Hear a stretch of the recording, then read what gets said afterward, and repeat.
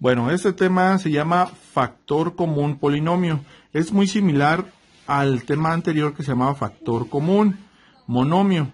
La diferencia es que aquí vamos a encontrar un factor común, pero ahora va a ser un polinomio. ¿Qué quiere decir un polinomio? Que va a tener dos o más términos. Ese factor común. Bueno, para poder realizar esto, el procedimiento dice lo siguiente. Se identifica el factor común.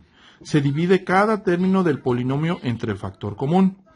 Se abren dos paréntesis. En el primero se escribe el factor común y en el segundo los cocientes hallados en el paso anterior, cada uno con su respectivo signo.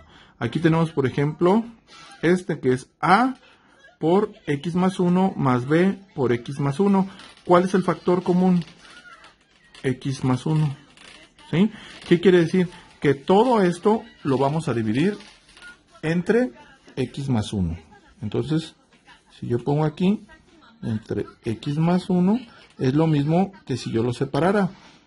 A por X más 1 entre X más 1 más B por X más 1 entre X más 1 y hacemos las divisiones.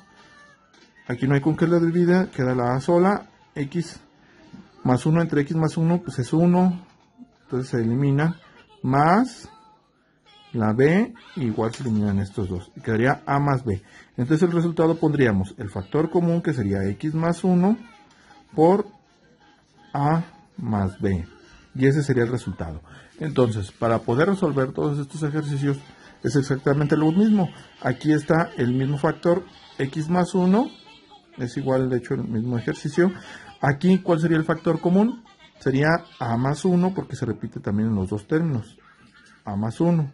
Entonces dividiríamos todo entre a más 1. Aquí x menos 1 y x menos 1. Acá igual a menos b, a menos b. Que me quedaría la pura m más la n. Y aquí n-1 y n-1. Ese sería para factor común polinomio.